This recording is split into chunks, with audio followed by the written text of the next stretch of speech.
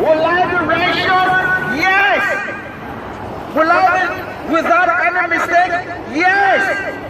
How is that possible? Because God said so. That's the standard of God.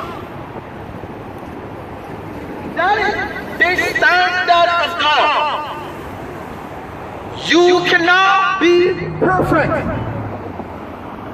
on your own. Only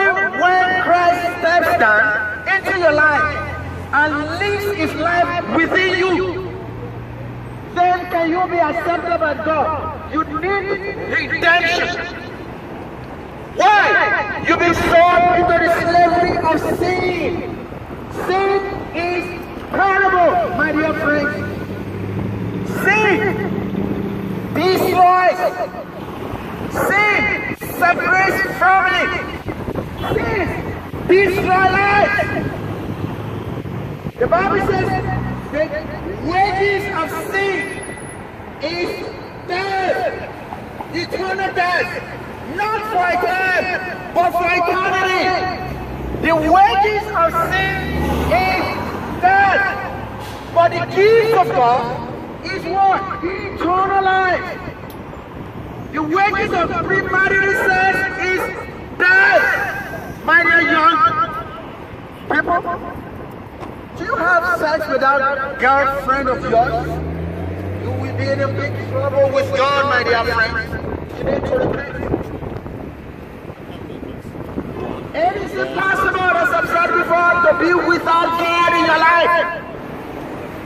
Something, someone, or money, you know, something will be your God. You can't be without any religion. So I have no religion. It's a lie. You're just deceiving yourself. God is made life to Him. If you reject the God of the Bible, then the devil is your God. I don't come to your life physically to be your God, but he will give you something to be your God. The devil can be your God through money, through your worship of money, through your worship of different kind of gods. So my dear friends, China Wilson, now is that time, the Bible says now is the time of salvation, not tomorrow, not tonight, not in the next five minutes, now.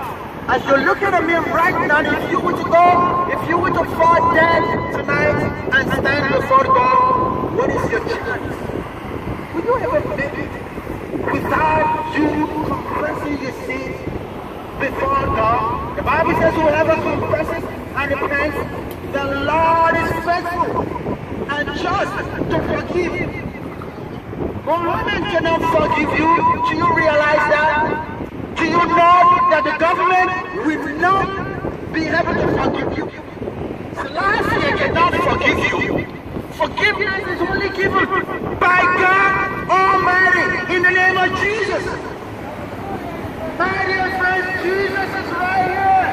Repent of your sins.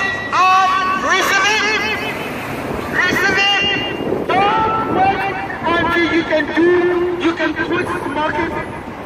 Repent now. Don't wait until you can quit smoking marijuana.